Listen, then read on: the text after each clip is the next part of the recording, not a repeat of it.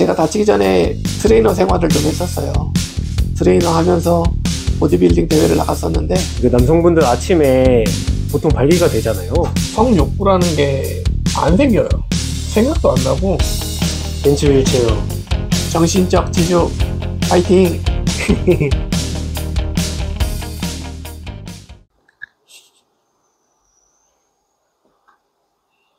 안녕하세요.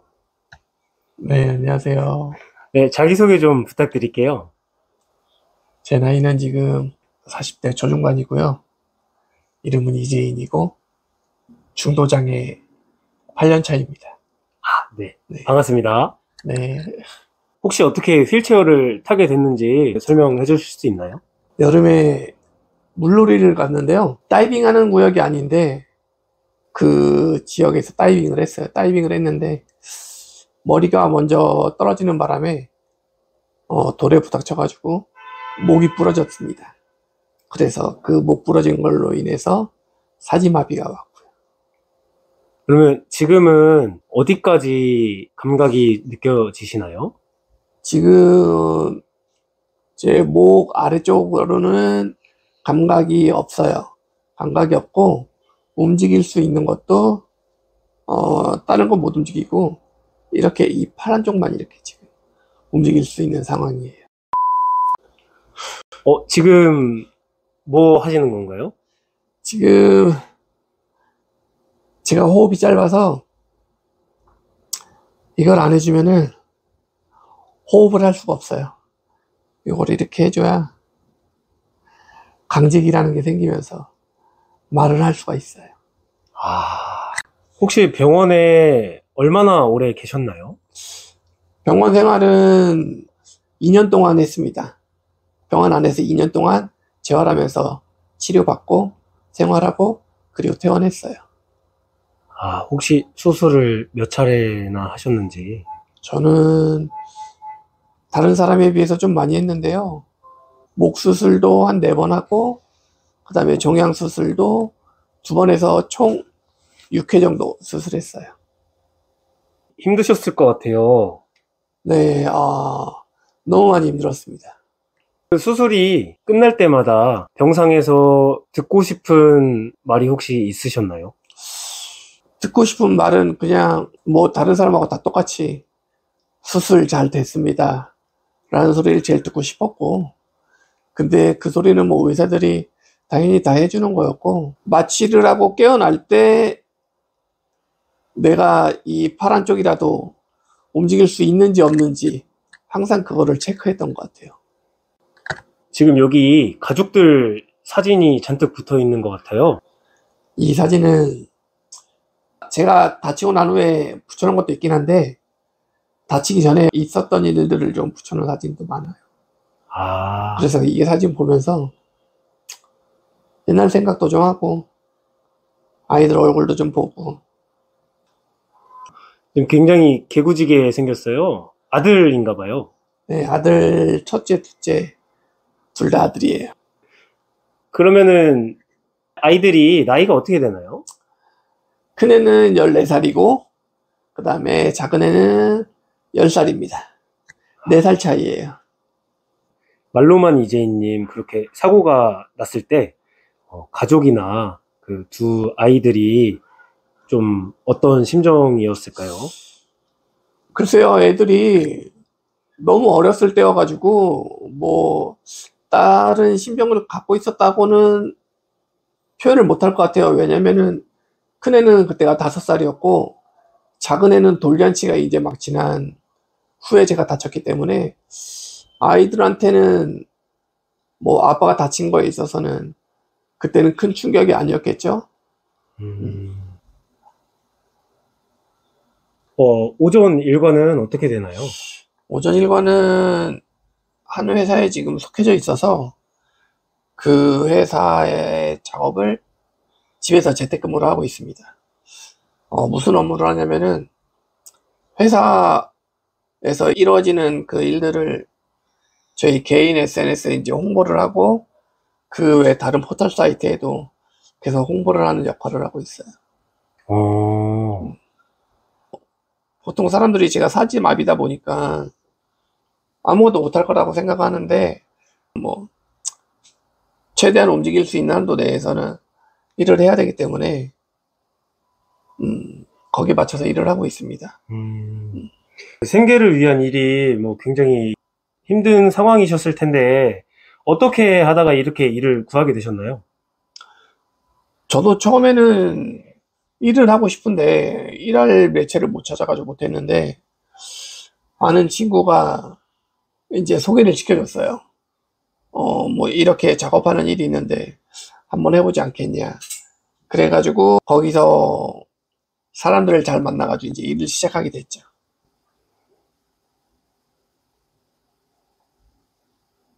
지금 하는 거는 저희 회사 채용 정보에 올라와 있는 것들을 이제 다른 카페나 아니면 다른 블로그에다가 어, 올리는 작업을 하는 겁니다. 운동을 하고 단련을 한다 그래서 제 상태가 좋아지는 건 없어요. 음, 그게 있으면은 저도 정말 열심히 운동을 하고 그거에 맞춰서 생활을 할 텐데 어, 지금 제 상태가 뭔가를 단련하고 어, 그거에 맞춰서 운동을 한다고 해서 어, 지금 이 상태가 더 좋아지거나 나아지는 건 없습니다. 어, 지금 보면은 뭐 RC카도 있고 이게 뭔가요? 제가 다치기 전에 트레이너 생활을 좀 했었어요. 트레이너 하면서 보디빌딩 대회를 나갔었는데 그 보디빌딩 대회 나가서 입상하고 나서 받은 트로피입니다. 아, 그럼 그 다치시기 전에는 트레이너로 활동을 하셨던 거예요? 네, 호텔에서 트레이너 생활을 하고 있었어요. 오, 안녕하세요 이재인입니다. 자 오늘도 저와 함께 해주실 김민경 선생님입니다. 자 오늘은 흔히 하실 수 있는 동작을 한 가지 해보실 건데요. 버피 테스트 동작입니다. 지금 이 영상도 찍으시고 아, 몸이 굉장히 좋으셨네요. 좋았죠. 그때 다치기 전에는 키로수도 95kg였고, 어, 그때는 몸이 좋았던 것 같습니다. 어, 키가 혹시 키는 177이요. 어, 크시네요. 아, 뭐 큰 건 아닌데, 몸집이 있다 보니까, 그래서 177에 95kg 정도였죠. 와, 전부 다 근육질이었네요. 아이, 그거 뭐 제 입으로 말하기 좀 창피하고요. 근육 반, 지방 반이었던 것 같아요. 잠시만요. 물 좀 마실게요.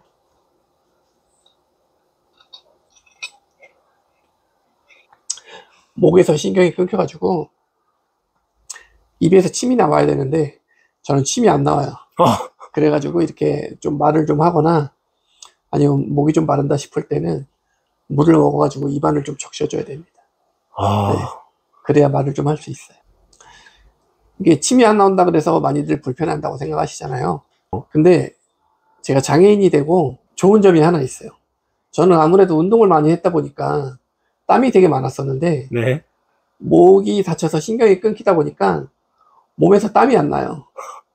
네, 그래서 이제 뭐 여름같이 이렇게 더운 날 사람들은 덥다고 부채질하고 땀 흘린다고 땀 닦고 하잖아요. 아, 그쵸. 예. 저는 그런 게 없어서 그거 하나는 편한 것 같아요. 땀 안 나는 거랑 더위를 안 타는 거. 그건 좋은 것 같습니다.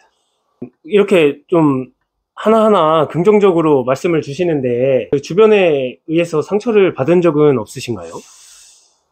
뭐 시선이라든가 뭐 아. 편견이라든가 처음에 다쳤을 때 제 주위의 사람들이 좀 많이 떠났어요. 운동을 배우겠다는 사람들이 많이 저한테 접촉을 시도했었거든요. 뭐, 그래서 아는 사람도 그렇고, 모르는 사람도 그렇고, 사람이 많이 주위에 몰리기 시작했었는데, 다치고 나니까 운동을 배우겠다고 하는 사람들도 많이 떠났고, 그 다음에 친구들도 한 반 이상은 연락이 끊기고 안 하는 친구들도 많이 생겼죠. 그걸로 인해서 조금 자괴감에 많이 좀 빠졌던 것 같아요.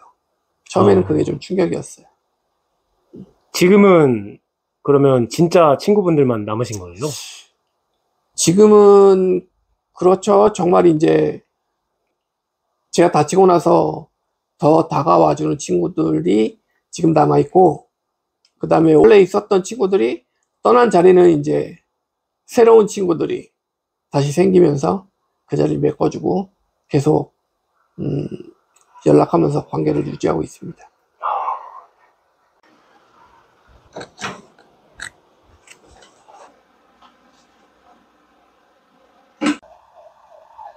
제가 가지고 있는 병이 조금 희귀병이에요. 어, 머리에 통증이 오고 어지러움증이 생기고 부역질이 나서 4시간 이상 앉아있지 못해서 이렇게 일을 하거나 조금 앉아있은 다음에 통증이 오기 시작하면은 지금처럼 좀 누워줘야 돼요.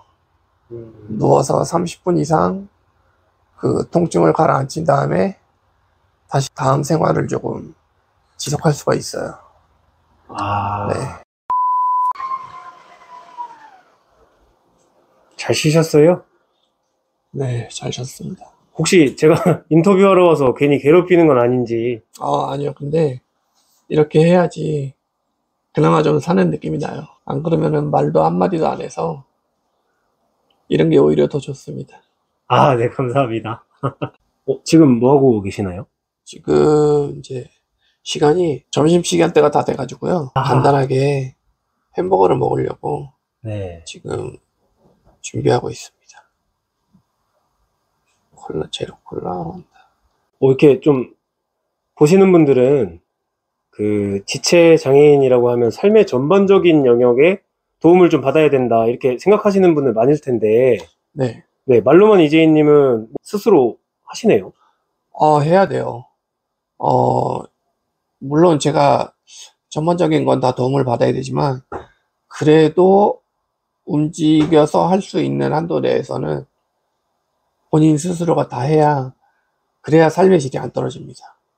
아, 안 그러면은 바로 나라고 떨어집니다, 진짜. 그래서 오늘 점심 메뉴는 햄버거입니다. 네. 지금 제가 팀장 역할을 하고 있어요. 그래서 이제 저한테 이제 문의를 합니다. 본인도 일하고 싶은데 어떻게 해야 되냐. 어, 그러면은 이제 제가 그 사람들한테 소스를 주죠. 이력서를 이렇게 써야 되고 어떤 식으로 작성을 한 다음에 저한테 주시면은 회사에 제출을 해드리겠습니다. 아, 네, 그래서 그 이력서를 받아가지고 제가 한번 1차적으로 검토하고 그 다음에 회사에다가 이제 이력서를 제출해 주는 거죠. 어허. 지금 제 옆에 계신 분은 저 간병해 주시는 분이에요. 제 몸 상태가 가족이 할 수 없고 좀 전문성을 가지신 분이 저를 봐주셔야 되기 때문에 지금 네. 간병인 분하고 같이 지내고 있습니다. 아, 안녕하세요. 네, 안녕하세요. 네. 아, 그 24시간 옆에 이렇게 붙어서 활동을 보조해 주시는 역할이신 거예요? 네, 24시간 있죠. 옆에서 지켜본 그 말로만 이재희님 네. 혹시 어떤지 좀 간단하게 인터뷰 해 주실 수 있나요? 네, 보다시피 이게 진짜 힘든 상황이거든요. 그랬는데도 살자고 하는 그 모습을 보면 진짜 눈물 흘리려고 하시는데요, 이재희님. 예, 병원에도 여러 번 가서 수술도 재수술도 하고 뇌하수 제종양으로 입원해가지고 처음 수술이 또 잘 됐다고 하던 게 잘못돼서 또 한 번 수술하다 진짜 많이 힘들었거든요. 그러는 상황에서도 그 수술한 날 와서는 바로 자기 그 삶을 유지하길래서 일하고 그러는 것도 진짜 옆에서 볼 때 너무 그래가지고 솔직히 어유 울지 마세요.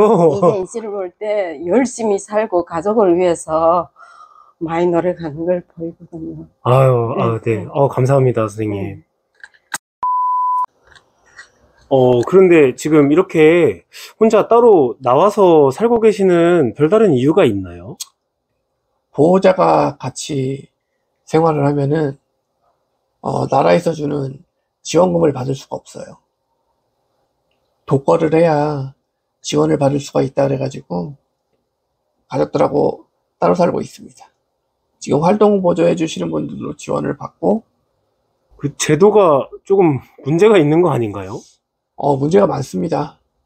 뭐 저도 비장애인 때는 잘 몰랐는데 제도가 되- 되게 이상하게 돼 있어요. 지역별로 차등 지급되는 경우도 있고, 뭐 장애 정도만 놓고 어, 그런 보조금을 지급을 해야 되는데, 뭐 어느 지역은 무슨 혜택이 많다더라 해서 우르르 이동하는 경우도 있다고 들었거든요. 맞아요.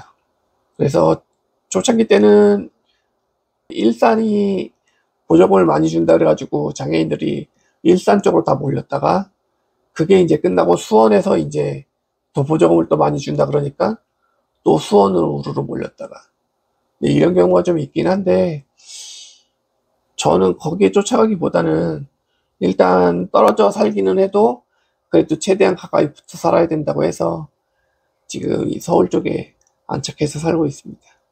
사고 나기 전에 이재희님이 헬스 트레이너셨잖아요. 주로 취미가 뭐 운동이나 뭐 이런 액티비티한 활동을 많이 하셨을 것 같은데 지금은 그렇지 못하니까 스트레스가 많이 쌓이실 것 같아요. 뭐 따로 어떻게 스트레스를 해소한다거나 뭐 여가 활동을 한다거나 그런 게 있으신지. 어, 하고 싶죠. 스트레스 받고 있는 게 많으니까 그것도 풀고 싶고 한데 아무래도 지금 제 몸 상태가 이러다 보니까 뭐 넷플릭스 같은 거 보면서 스트레스를 풀고 있습니다. 이재희님 가장 도움이 필요할 때는 혹시 언제인가요? 아무래도 뭐 먹는 거랑 화장실이죠. 먹는 것도 혼자 못 먹으니까 먹, 먹여주는 거 받아 먹어야 되고 화장실 가는 것도 혼자 못 가니까 그것도 도움을 받아야 되고 음, 그게 제일 힘든 것 같아요. 아 힘든 게 아니고 신경 써야 되는 부분이죠. 힘들다고 느끼지는 않으시는 거예요? 와 힘들다 라는 생각은 부분적으로는 없고 그냥 뭐 사는 것 자체가 힘든 거죠. 그 말로만 이재희님 남자니까 한번 여쭤볼게요. 그 남성분들 아침에 그 보통 발기가 되잖아요. 그런 부분은 비장애인이셨을 때랑 다른 게 있나요? 많이 들리죠. 음, 비장애인이었을 때는 아무래도 호르몬이 어, 왕성하다 보니까 그 남자적인 면이 좀 나오긴 하는데 지금 장애인이 되고 나서는 호르몬 분비가 완전히 끊겨서 그런 게 전혀 없어요. 어. 성욕을 계속 해결하지 못하시다 보면은 성욕구가 사라지나요? 신경이 끊겨서 그런지 성욕구라는 게 안 생겨요. 생각도 안 나고 욕구가 없습니다. 그 지금도 이렇게 열심히 일하시는 거 보면 열심히 살고자 하는 의지가 좀 강하게 보여요. 그런 에너지를 혹시 어디서 얻고 계신지. 아무래도 제가 결혼을 한 상태고 아이들이 있는 상태에서 다치다 보니까 이 가장이라는 자리가 그걸 못 놓게 하는 것 같아요. 뭐 많은 돈을 벌진 못하지만 저희 가족들한테 조금 도움이 되게 하는 게 목표죠. 장애가 있으신데 시선이 부담스러워서 은둔하거나 하시는 분들에게 해주고 싶은 말이 있으시다면? 안 좋은 생각들을 좀 하는 거는 어쩔 수 없는 것 같아요. 조금 더 대화를 하려고 하고 바깥으로 나가는 게 그리고 사람들하고 소통하는 게 어, 삶의 질을 더 높이는 것 같습니다. 산책하실 때는 어떻게 산책 나가시나요? 이렇게 자동으로 운행할 수 있는 기계를 달아서 오, 지금처럼 운행을 합니다.